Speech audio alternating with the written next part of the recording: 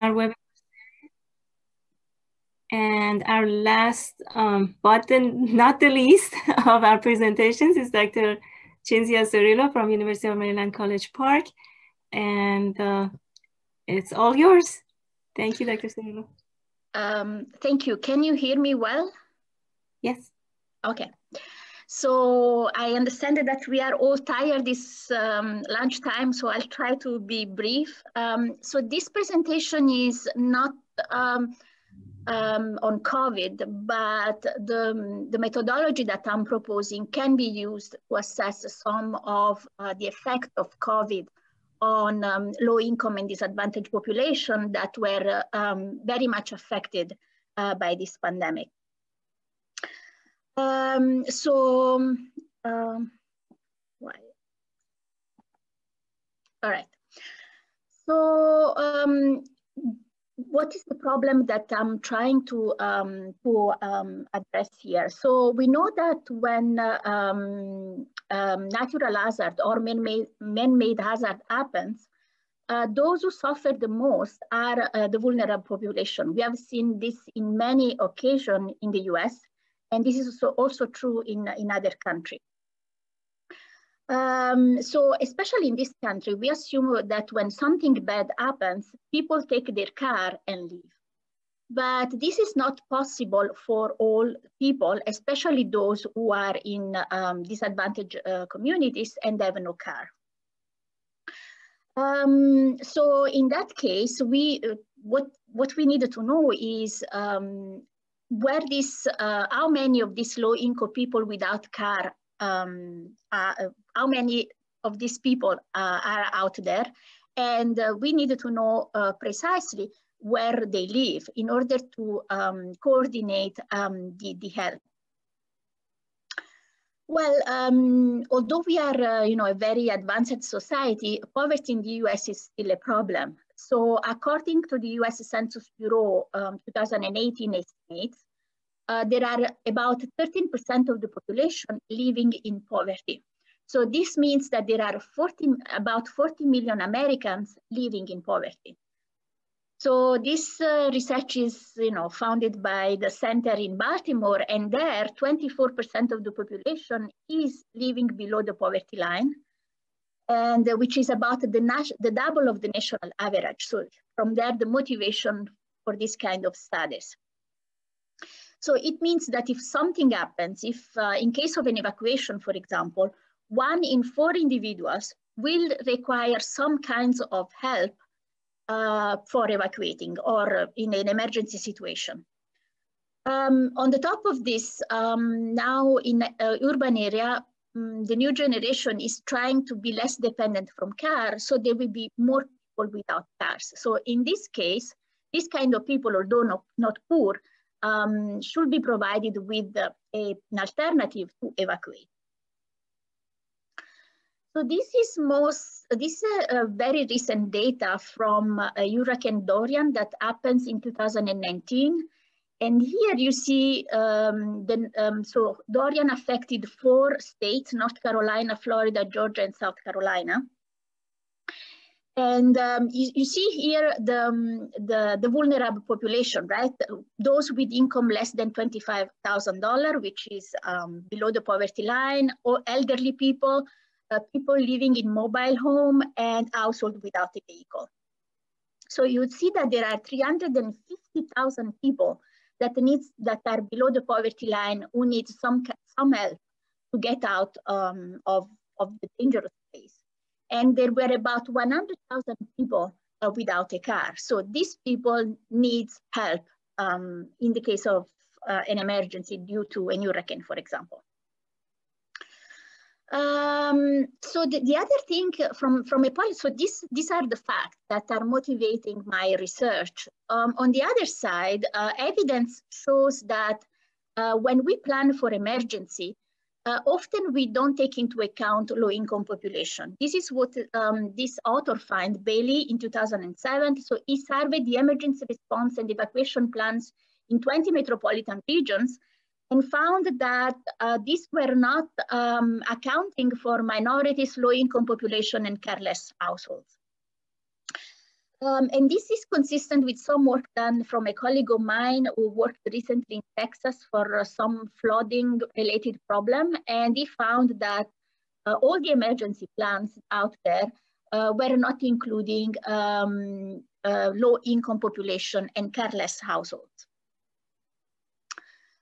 Um, now, um, so how I'm addressing this, I'm addressing this problem from a perspective of small area estimation.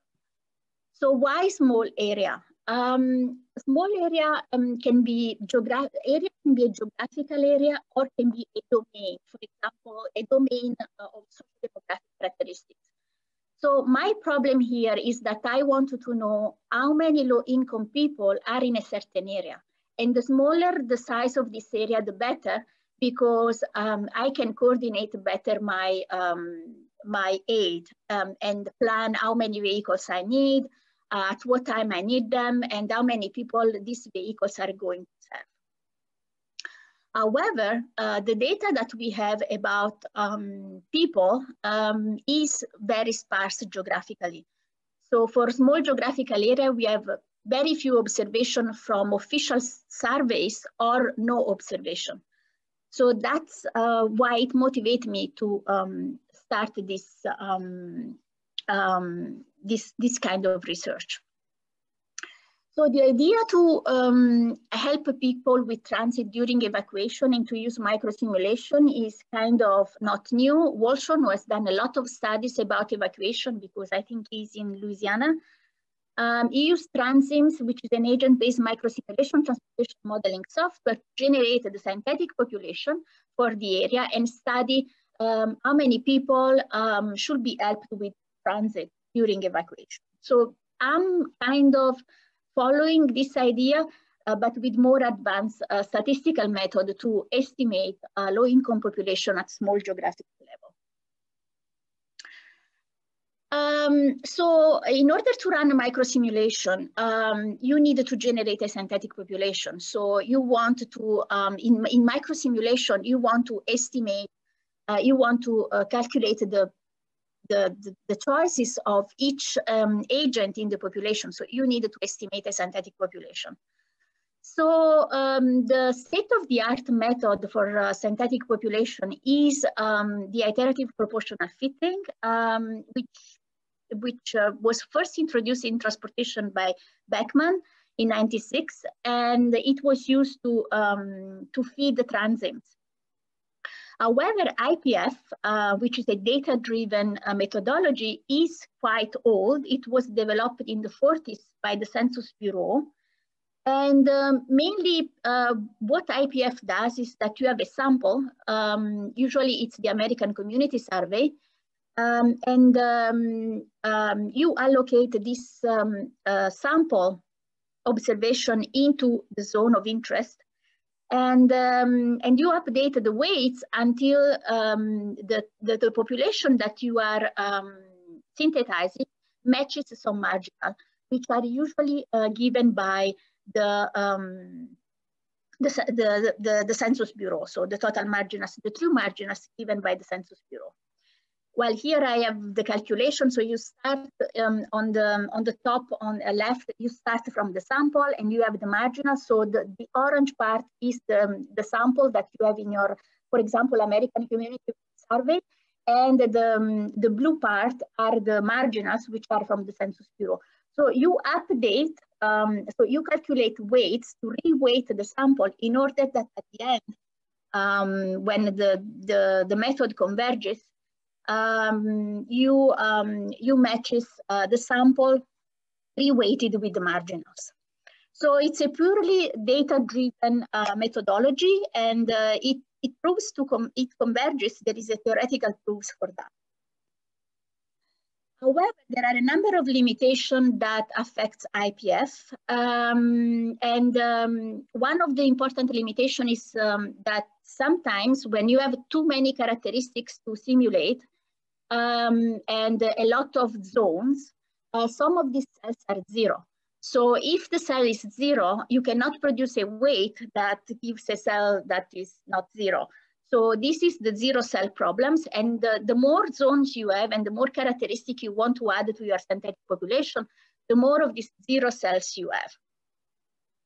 Uh, the other um, the other limitation was that um, people were you can synthesize just at one level. Uh, for example, you can synthesize household characteristics or individual characteristics. And this was one of the limitations of the original model called, called IPF. Now in transportation, uh, people have progressed and um, they have proposed the iterative proportional updating. Actually, this is um, implemented, the algorithm is implementing it with which is publicly available. This was a, a, a project sponsored by uh, FHWA. And now they are able to uh, synthesize population for both household and person characteristics. Um, and um, they can also accommodate control variables at multiple spatial resolution. For example, you can uh, um, take into account um, geographical level, for example, um, Puma and count, for example. Now, um, so um, uh, so when you are uh, synthesizing a population, you want there are two important things that must must be satisfied. Two, two important um, um, criteria that must be satisfied. The first one is that um, the dependency between the attributes for each geographical area should be preserved. So if you have so many people with a certain income and a certain uh, age uh, in the sample, this should be preserved in the population that you are recreating. And the, the second criteria, the second criterion is that the cumulative distribution of the variable for all attributes of interest should be satisfied. Um, so we want to, these are the, the two main things that um, the population synthesis, a good population synthesis might be, uh, might um, satisfy.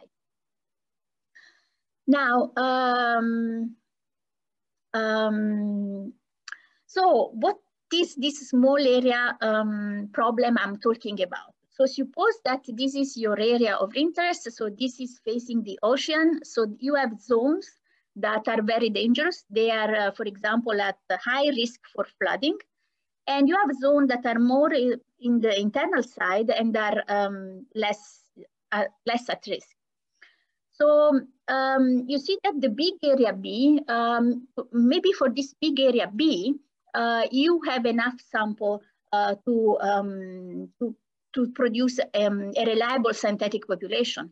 But if you want to go, uh, but you see that B has a lot of heterogeneity in, in terms of risk, um, in terms of risk. So you want to uh, analyze the population at small geographical level, which are these A zones, for which you have no sample or very few sample available.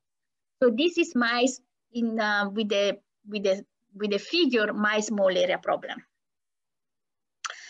So instead of uh, going for a completely data-driven um, methodology, here we, um, we, we go for a statistical methodology. And in particular, we use this copula function.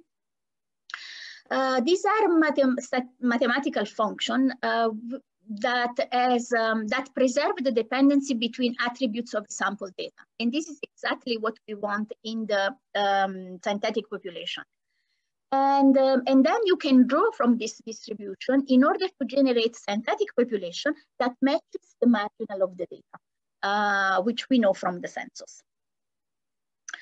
Well, this is, um, maybe I can um, skip this. So this is the, um, the general uh, joint cumulative distribution function, which is function. So the C is the copula function, which is uh, a function of the um, uh, cumulative distribution function of each characteristic in your population.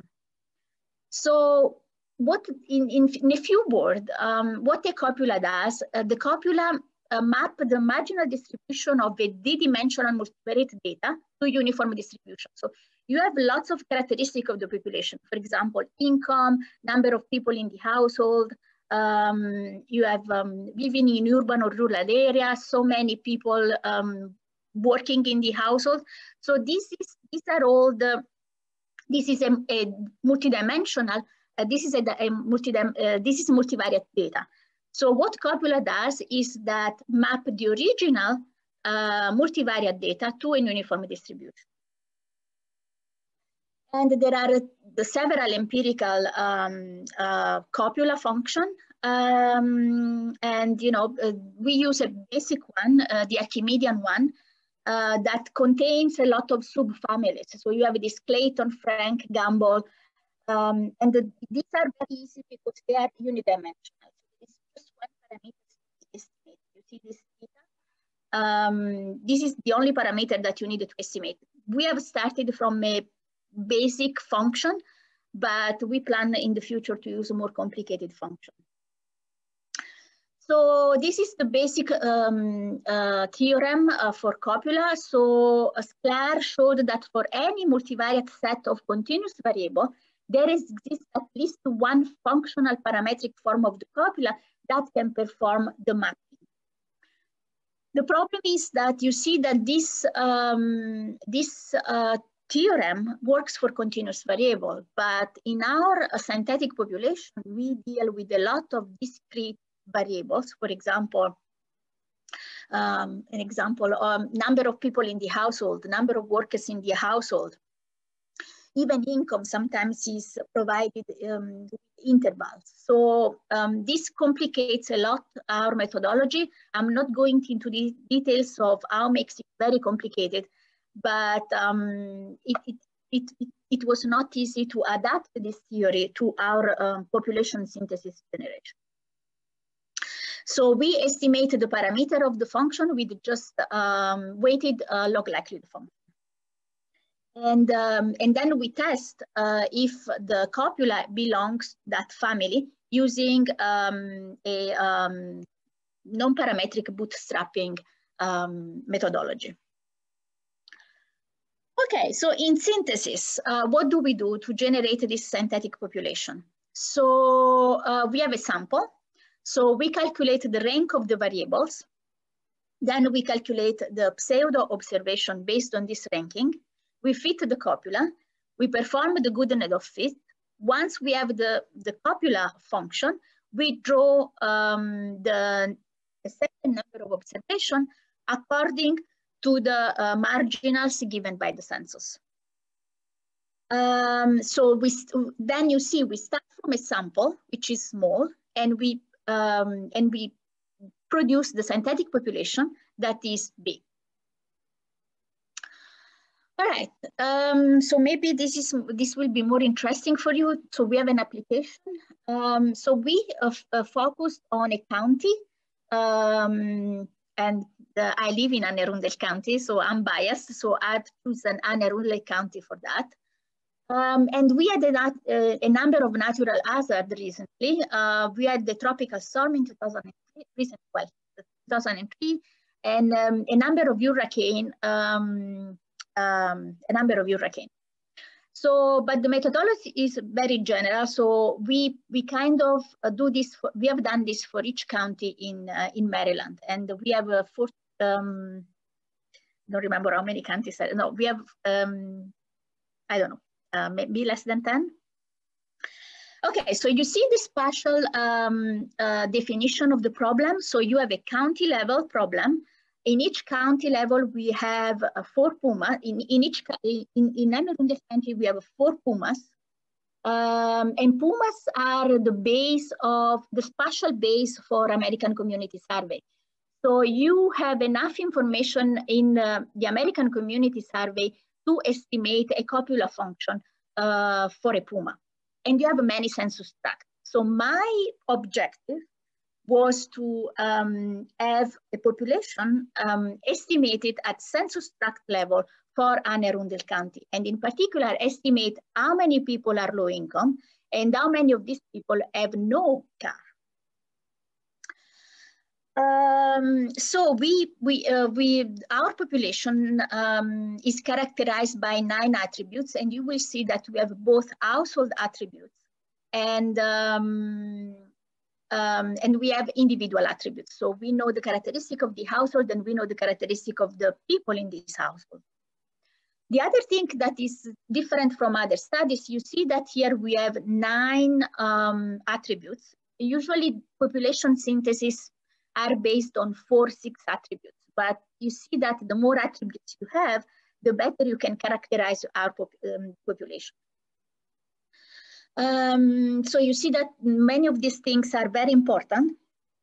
For example, income is a determinant for all kinds of um, uh, choices um, and for the characterization of demand. We were talking about demand before. Uh, we have race, uh, we have um, uh, employment status, and, and, the, and the usual one, age, gender. So what are the data that we used for this? So we used uh, several data sets. Um, so um, we use the American Community Survey, as I was saying. So this can be also seen as a data fusion method in which we take um, data from several databases and we fusion them to estimate um, the characteristic of the population. So we use the American Community Survey, the decennial census, uh, the National Household Travel Survey, and we use IRS income data. So why IRS income data? Because the decennial census does not include um, income. So the decennial census doesn't give you income. And uh, so this is a big limitation because we needed the marginal for incomes. And um, so we used this IRS income data, which is provided by IRS at zip code level. So this was very useful information for us. So, but in order to process all this data, you need to have some geographic consistency and you need to have crosswalk between county, um, county, um, PUMAs, census tracts, and zip code level. So all this should go into a data fusion method that does all this crosswalk across different um, databases. So the other problem that we had um, is that um, although Maryland participated into the National Household Travel Survey as add-ons, so we have more data this year. So the National Household Travel Survey was collected in 2017. And Maryland um, provided extra money to collect more data. And we have about 1,400 households, uh, data for 1,400 households available. However, um, Maryland has not been able to release um, geographic details about um, their data.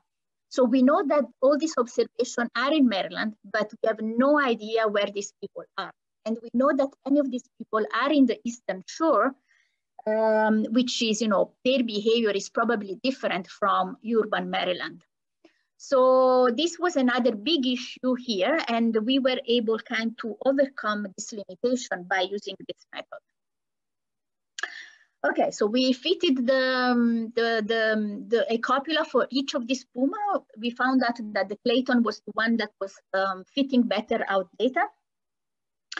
And then once we added the, um, the, the, general function, uh, we uh, generated a set of pseudo observation for each census tract by matching um, the totals with the 2010 decennial uh, census.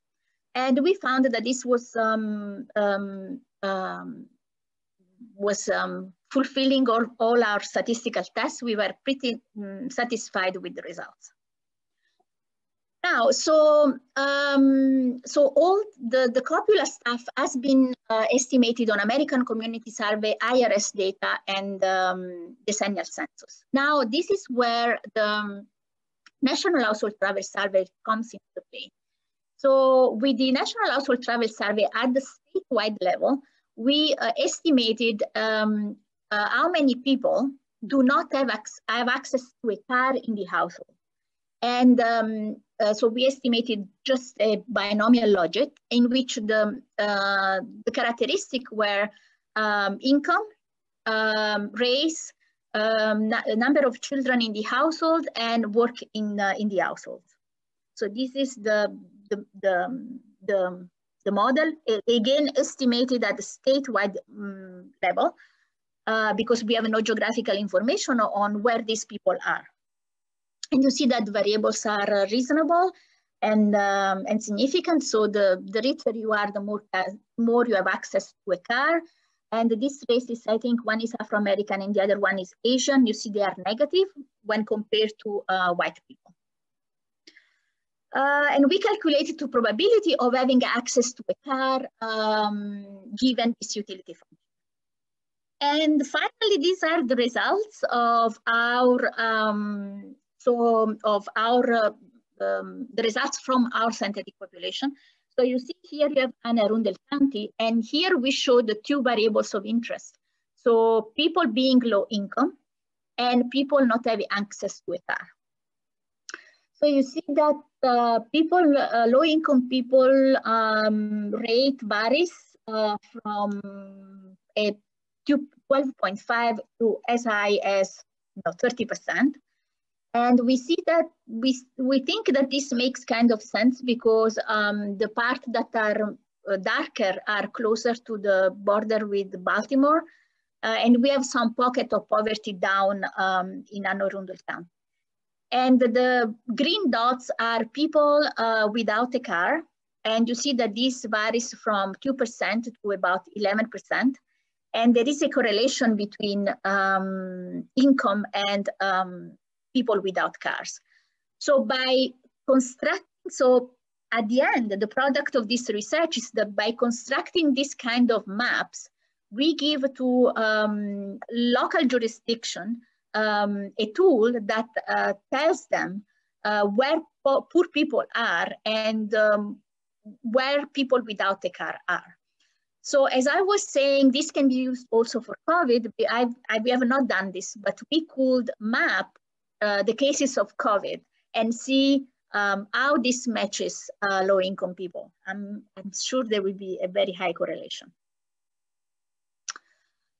Okay, so um, just to conclude, um, so we have um, demonstrated that um, a statistical approach for synthetic, for synthetic population is possible um, instead of using this um, completely data-driven uh, method.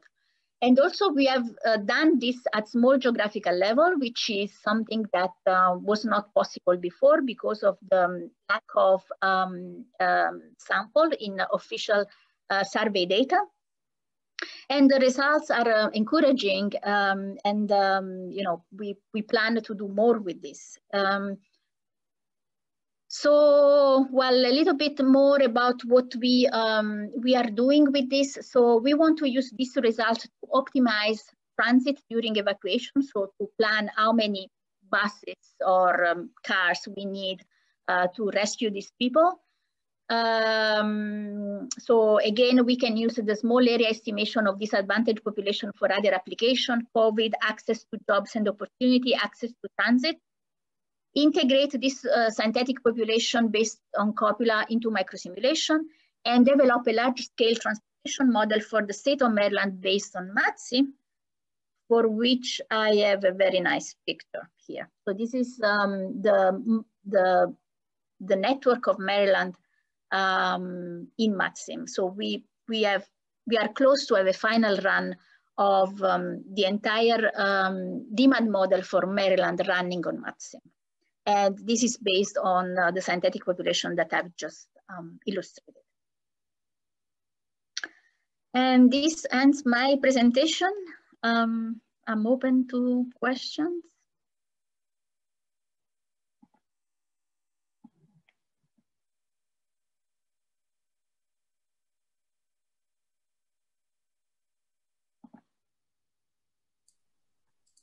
This this isn't i mean this is more of an editorial comment than a technical question but i just can't believe this this isn't done more. Um, you know finding where people are going to need extra help because they don't i mean how can you just plan for evacuation assuming everybody has a car? So again that's more of an editorial comment. I, I think this is really important research because um, it, and you also make an excellent point you know, we tend to think of people without cars as being poor, but also a lot of millennials choose to not have a car, live in a place where they don't have to have a car. And they will also be equally vulnerable. Yeah, I, I was surprised as well. Um, and this problem is coming uh, up again and again. Um, yeah, this, I mentioned this colleague of mine, he did work in Texas, and uh, he said exactly the same, that low income population are not accounted for uh, in this uh, emergency plan.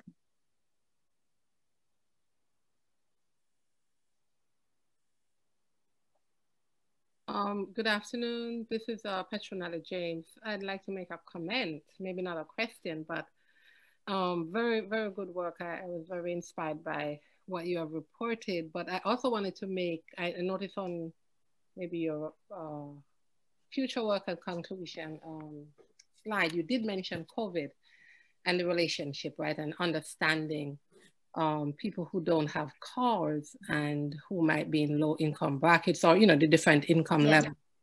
Um, one of the things that came out recently, as you know, there's a, a whole issue about inequitable access to COVID um, resources. And for example, people trying to get the vaccination or going to get the COVID test and so on.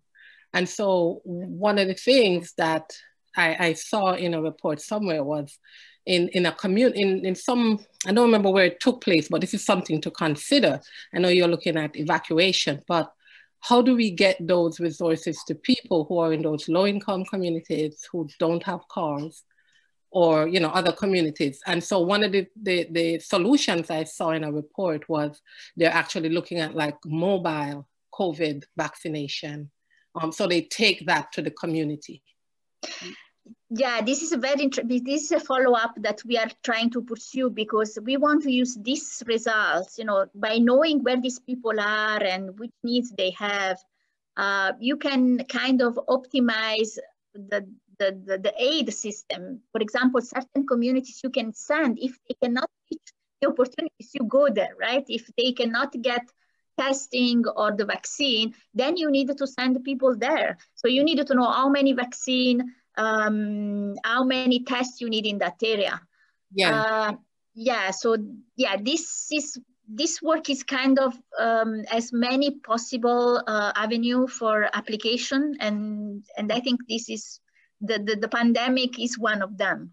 Yeah, and it also just brought something to mind because um, previous presenters talked about transit and and the fact that so, so typically in some, you know, marginalized communities, low income and other communities, people will be looking to use transit, but now with reduced services in some places and hesitation. So even, you know, further challenge for people to get access to those um, health, not just for COVID, but for other health um, issues that they may have. So definitely. Very true, very true.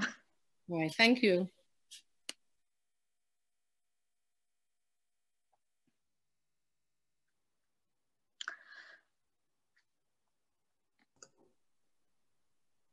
Any other questions, comments? Okay, thank you very much, Dr. Cirillo and uh, all the attendees.